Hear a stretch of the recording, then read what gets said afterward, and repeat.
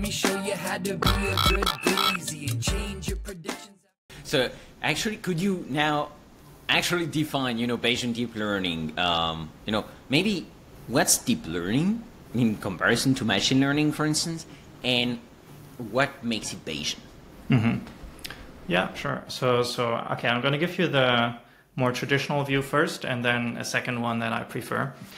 Um, so, in the traditional sense, like if you think about what deep learning is, like it's essentially trying to learn functions that are parameterized by these artificial neural networks, right? So, it's essentially uh an architecture that has an input layer where you put your data, and then it propagates through several layers. So that's where the deep comes from. And at the end, there's an output layer that, that gives you the predictions, right? Um, so algebraically speaking, essentially, it's just a bunch of matrices, which are your weights that you multiply with the, the input vector, and then you apply some nonlinearity, which is uh, the activation function of the neural network. Um, now, this is really a powerful way of, of learning functions because you can prove that if you make your network big enough, it can approximate any function. So that's what's called the universal approximation theorem. And um, you know, using techniques like backpropagation, we can actually do this quite efficiently in in GPUs, for instance, right? So that's why the this whole deep learning paradigm has become so popular because we just happen to have the hardware that could do these matrix vector products quite efficiently.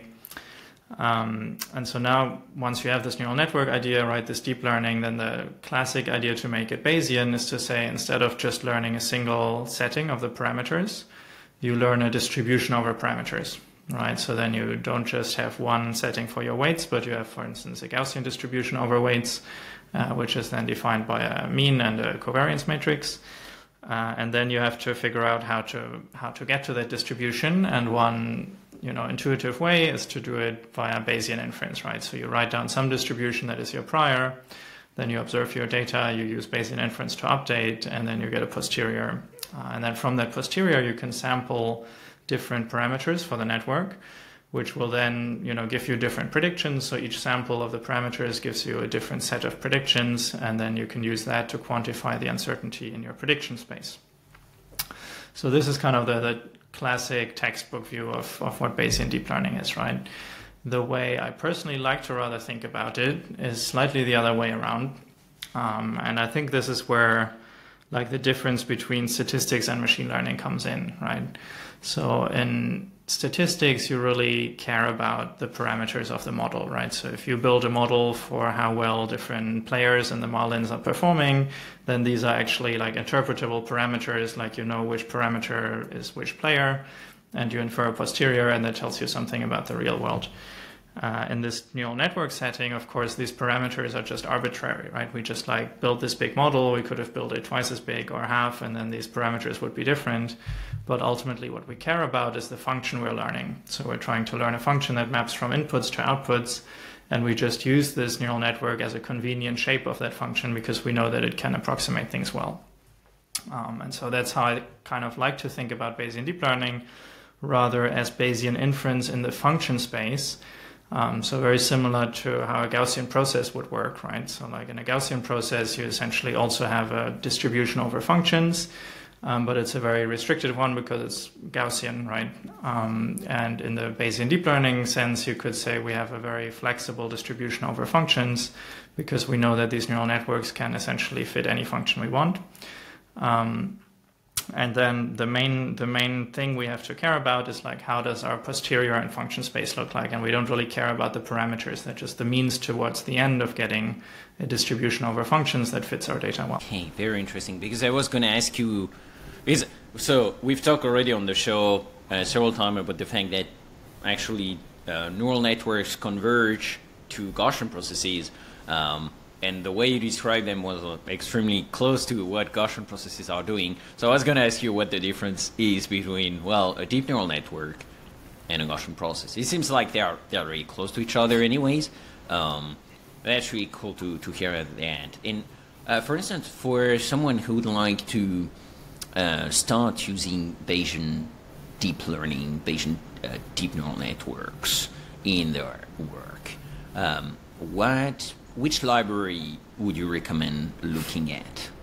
yeah So that's that's a that's a good uh, good question. It's a bit of a, a pain point maybe. So like right now, I guess we have this issue that there isn't like one library that that rules them all, kind of right. So it's uh, I think that's why where you I mean you were mentioning the BayesFlow right before. I think this is a great effort to try to put everyone on, on one on one chip. Um, so in Bayesian deep learning, we currently don't have that. So we have different libraries for different types of inference.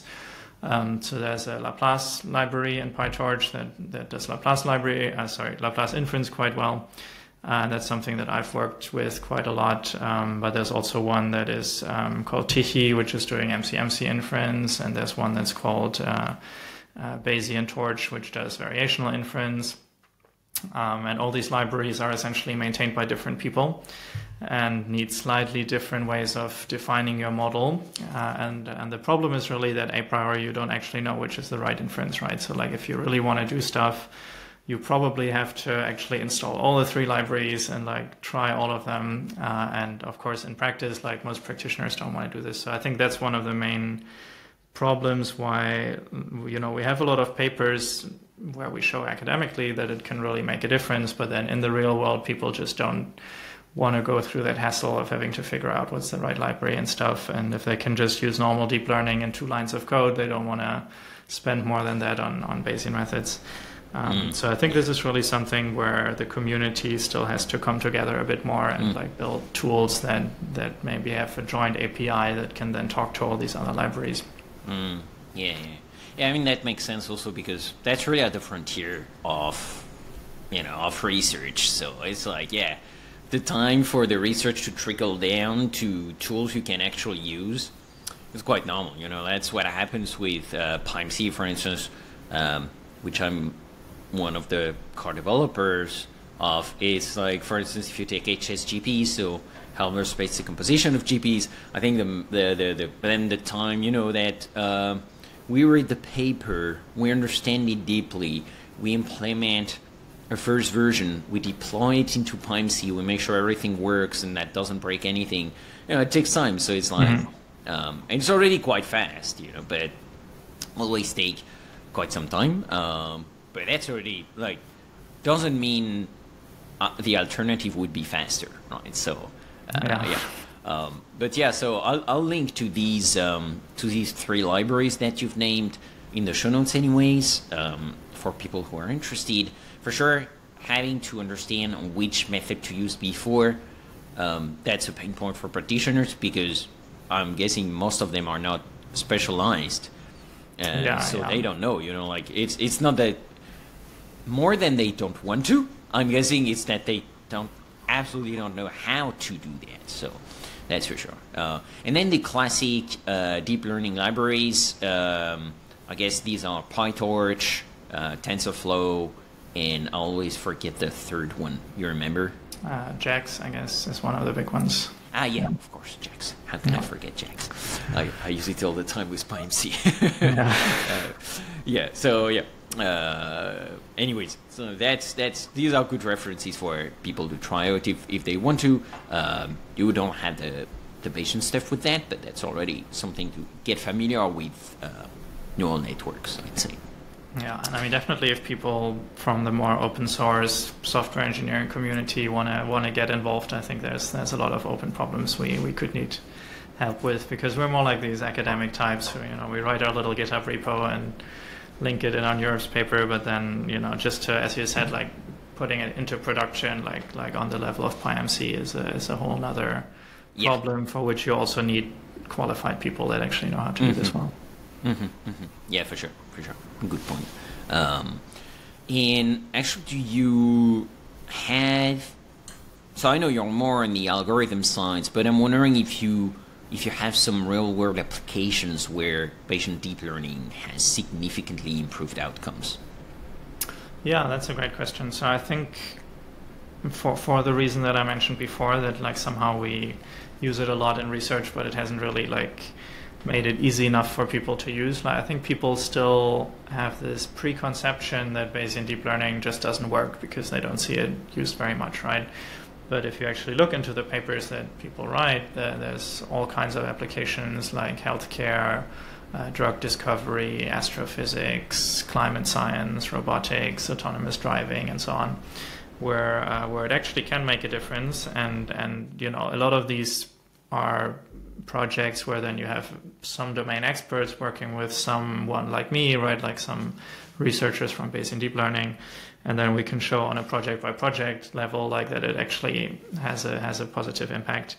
Um, but of course, yeah, for the wider impact, then we would need to make it make it more usable for, for people. But I think it's really um, very promising to see that, that in all these different areas there have been attempts to to use it and that it actually has made a difference there.